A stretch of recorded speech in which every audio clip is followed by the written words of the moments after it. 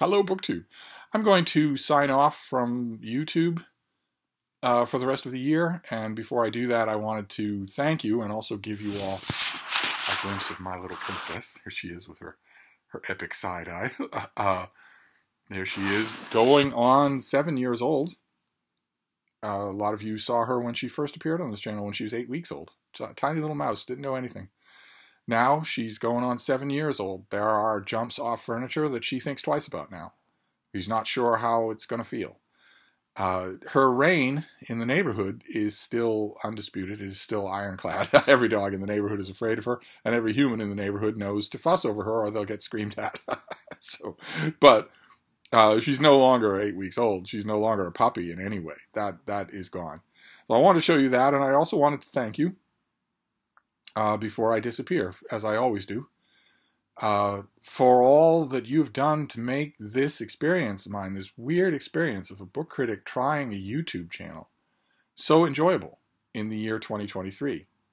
I want to thank uh, the people who've left comments in all of those months wonderful, thought provoking comments, most of them. Uh, fun, needling, uh, joshing. That has been wonderful. It's been wonderful to have those conversations. I want to thank all of you who take, took me up on my steady invitation to email me. Email me or Voxer me. I'm right here. I have a lot of work to do, but I'm always free for conversations.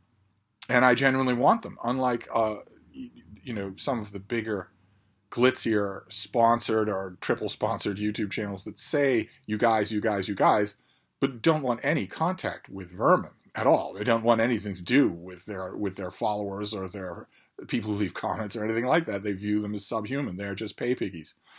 Uh, they might say those words, but I actually mean them, and a number of you have taken me up on that, which is wonderful. I, my email has was full in all of 2023 with requests for advice on all kinds of subjects, not just books, on me asking for advice on all kinds of subjects, uh, not just books, on all kinds of jokes, innumerable dog pictures, pictures of libraries, pictures of bookstores where you are where you're out and about. That has been wonderful. Just an absolutely unexpected, completely positive side effect of making videos on YouTube. uh, I also want to thank uh, my fellow booktubers quite a few of whom uh, show the same qualities as the people that I'm talking about in that they get my sense of humor uh, and make really interesting, thought-provoking content. I it's you booktube in 2023 was the number one thing that I watched.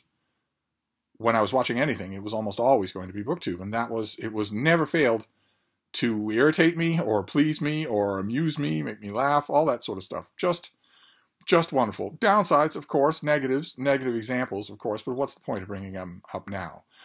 The majority of, of those videos were wonderful. People just putting on a camera, not expecting anything other than I find this interesting and I've got a community to share it with. That was wonderful.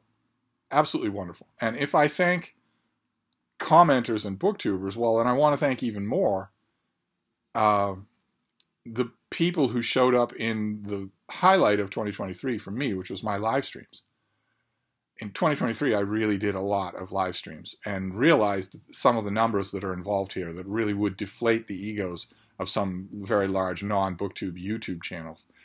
I learned from my videos that regardless of subscriber count, I have about a thousand viewers. And I learned from my live streams that regardless of viewers, I have about 100 or 200 people who are directly engaged with me as a person on this channel. Uh, so not bots. At least I'm sure. In some cases, I have my doubts, but mostly not bots. And those live streams are where that happened. I know some of it had to do with timing, uh, time zones and whatnot. I tend to do my live streams in what for a lot of you is the middle of the night. So, you know, I'm not counting that those as absences, but nevertheless, in those live streams, I got the closest that I will ever come with 99.9% of you to in-person conversation, which is the refiner's fire for all the claims I make about establishing internet relationships uh, virtually in comments fields or in emails or whatnot. The refiner's fire for that is, well, what would it be like if you were in conversation with the person, actual conversation with the person? That's not going to happen in real life for most of us, but live streams come pretty close. Live streams burn away the ambiguity of email. They burn away the passive aggressive double entendres and whatnot. There, it's just you. And you're responding to each other in real time. And for me in 2023, that was a revelation. It was absolutely wonderful. Absolutely wonderful.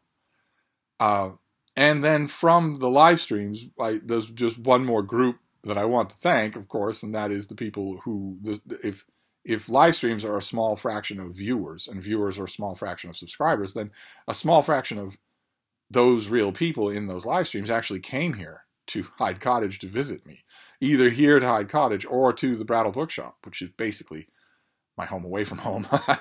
in 2023, I met quite a few people. IRL, in real life, who I would not have met otherwise. I wouldn't have known if I didn't make a YouTube channel, I wouldn't know that they existed. They are, in fact, my imaginary booktube friends. But I met them in real life. And some of them came over here and spent time here and had wine and calzones here and stretched out on the David Murphy Memorial cot and had Frida scream at them and whatnot. And that was delightful. That was that was delightful. That was to put it mildly, seven years ago or whatnot, I would not have imagined that that could happen. probably seven years ago, I would have thought, well, it shouldn't happen because that was the dictum of the internet at the time was that don't read the comments fields, don't feed the trolls, and especially don't let anybody into your home. Uh, probably seven years ago, that was the mind frame that I was thinking of just because I'd been told it. But in 2023, I had many visitors and I had it. It was wonderful. It was absolutely wonderful. So, so there you go. I wanted to thank all of you for making this such a weird, unexpected, and largely wonderful experience. Uh, so I'm going to wrap this up uh, for now, and I hope you all have a happy new year and lots and lots of good reading and good booktube viewing in 2024. So thank you all again. Goodbye, booktube.